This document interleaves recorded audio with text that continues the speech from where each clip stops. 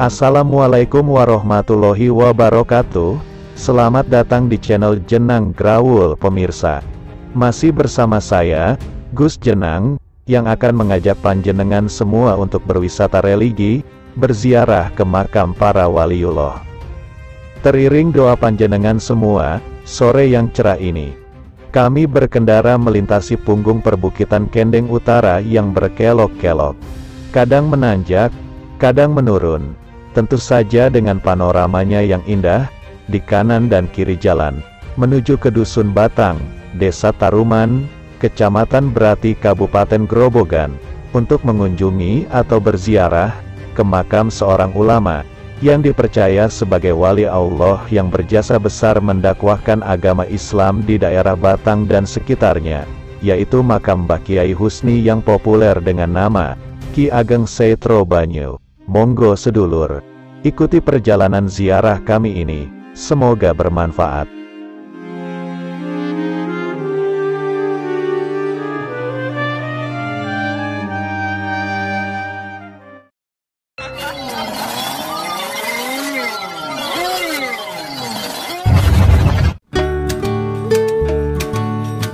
Alhamdulillah sedulur, kami telah sampai di depan gapura pintu masuk menuju ke makam Ki Ageng Setro Banyu. Untuk menuju ke makam Ki Ageng Setro Banyu ini terbilang mudah. Di samping akses jalan sudah bagus.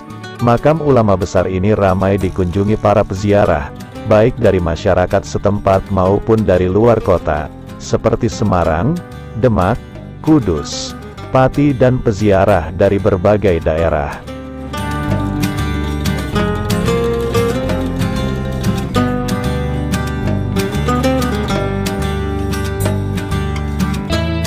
Assalamualaikum ya daro kaumim mukminin. Wa nahnu insyaallah bikum lahikun. Sedulur, inilah makam beliau, Ki Ageng Setro Banyu. Ada beberapa pendapat tentang nama ataupun sejarah sosok wali Allah satu ini. Berdasarkan keterangan secara tutur tinular yang tersebar di masyarakat Dusun Batang, bahwa Ki Ageng Setro Banyu ini, pada awalnya dipercaya sebagai Mbah Tunggon, atau penunggu Dusun Batang. Maksudnya adalah pendahulu atau cikal bakal desa, yang wajib dihormati dan dilestarikan makamnya. Pada saat tertentu diadakan selamatan di makam Mbah Tunggon, sebagai rasa hormat terhadap pendahulu dan sekaligus penunggu desa Taruman Dusun Batang tersebut.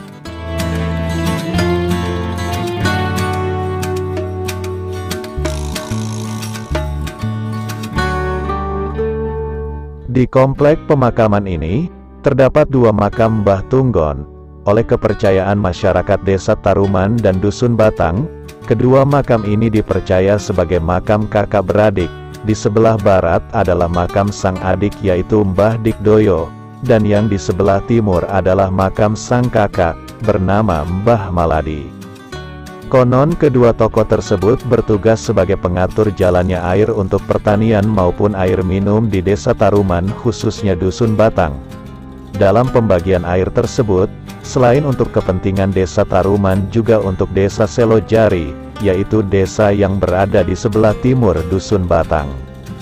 Dikisahkan, suatu ketika terjadi perbedaan pendapat di antara kedua tokoh sakti ini.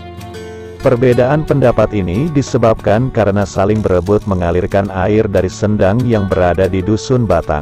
Demi kepentingan pengairan sawah, Mbah Dikdoyo menganggap perlu membangun saluran air baru ke arah selatan, dengan mengambil air dari tuk atau sumber tengah. Sedangkan Mbah Maladi berpendapat agar memanfaatkan saluran air yang sudah ada, yang mengalir ke arah timur. Karena permasalahan itu, terjadi perdebatan hingga pertarungan, yang mengakibatkan terbunuhnya Mbah Maladi. Tewasnya Mbah Maladi menjadikan Mbah Dikdojo menyesal, setiap hari merenung dan meratapi nasib atas peristiwa yang telah terjadi. Perasaan bersalah yang berlebihan dan merasa berdosa menjadikan Mbah Dikdodio tidak berpikir panjang, lalu menghilangkan nyawanya sendiri. Peristiwa ini menjadi nasihat bagi masyarakat Batang, untuk dapat mengambil makna bahwa saling mempertahankan ide dan keras kepala tidak menyelesaikan masalah, akan tetapi menambah masalah baru. Selain itu juga membawa dampak hubungan yang tidak baik bagi warga Selojari dan Batang. Sampai sekarang orang Selojari tidak boleh menjalin hubungan tali pernikahan dengan orang Batang, begitu pula sebaliknya. Namun kisah tersebut berbeda dengan pendapat para ulama dan tokoh masyarakat Dusun Batang Desa Taruman itu sendiri, di mana para ulama setempat mengatakan, bahwa sejarah tentang makam Mbah Dikdoyo dan Mbah Maladi, kedua makam itu ternyata bukan makam kakak beradik, akan tetapi makam suami istri, mereka itu adalah Syekh Muhammad Husni, yang bergelar Haryo Bayu Permonotani. Nama lain beliau adalah Ki Ageng Seitro Banyu putra dari Haryo Bekti Poncotani. Makam Ki Ageng Setro Banyu atau Syekh Husni berada di sebelah barat yang semula dianggap makam Mbah Dikdoyo, sedangkan makam yang di sebelah timur adalah makam istri dari Ki Ageng Setro Banyu yaitu Dewi Murbingah, yang semula dianggap makam Mbah Maladi. Beliau merupakan keturunan dari Brawijaya kelima, Prabu Brekertabumi dari Kerajaan Majapahit. Adanya pamali atau elo-elo, yang dipercaya masyarakat, bahwa orang Selojari tidak boleh menjalin hubungan tali pernikahan dengan orang Batang begitu pula sebaliknya. Hal ini mendapat bantahan dari para ulama setempat, bahkan Habib Ashari Klaten mengatakan, pada zaman Syekh Husni dulu, sebetulnya hubungan antara masyarakat Batang dengan Selojari sangat intim, baik pertanian, keagamaan dan lain-lain. Pada masa penjajahan Belanda di Indonesia, Belanda merasa khawatir, karena Syekh Husni itu ulama besar. Belanda merasa kalau umat Syekh Husni dari Batang dan Selojari bersatu, maka akan dapat mengusir Belanda.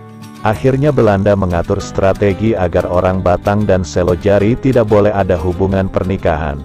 Sesungguhnya secara syariat agama Islam pernikahan antara warga Batang dengan Selojari tidak apa-apa, trik Belanda yang sebenarnya untuk memecah belah warga Selojari dengan Batang.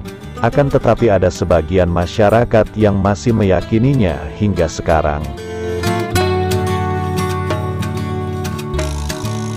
Ayahanda Syekh Husni atau Ki Ageng Seitro Banyu yaitu Haryo Bekti Ponco Tani adalah pengasuh Raden Patah di masa kecilnya. Pada saat Raden Patah menjadi raja di kerajaan Demak, Syekh Muhammad Husni diberi tugas untuk mencari sumber air dan mengatur pengairan untuk pertanian. Sambil mengatur jalannya pengairan, beliau juga mensiarkan agama Islam di wilayah di mana beliau berada. Dari tugas beliau sebagai pengurus pengairan untuk pertanian di sawah, maka diberi gelar dengan Haryo Bayu Permonotani. Dan tugasnya sebagai penguasa dan pengatur jalannya air di sumber air, dari Tuk, Sendang, maka juga diberi gelar Ki Ageng Setrobanyu. Diceritakan, beliau sebagai seorang yang sangat murah hati kepada semua rakyatnya dalam pencarian atau pengadaan air untuk pertanian maupun kepentingan rumah tangga. Bagi yang membutuhkan air dikabulkan dengan syarat yang sangat mudah. Mereka diminta sesuci, yaitu mandi taubat, dengan membaca japa mantra yang ampuh, yaitu membaca dua kalimat syahadat tiga kali. Tanpa disadari oleh mereka, ternyata mereka yang mandi taubat secara otomatis sudah masuk Islam. Inilah salah satu cara beliau dalam menjalankan siar agama Islam. Warga tidak merasa terbebani karena mereka mendapatkan air dengan mudah hanya mengucap syahadat saja.